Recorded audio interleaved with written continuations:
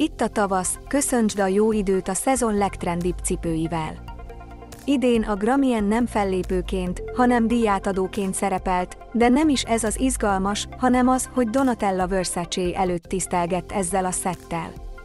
Dua Lipa egy ideje már Donatella múzsája, de nem csak annyit tett, hogy felvette az egyik általa tervezett ruháját, hanem tökéletesen megidézte az 1992-es Met Gálát, amikor Donatella felvette a híres, bandit dressként elhíresült ruhát, amit még Gianni tervezett számára.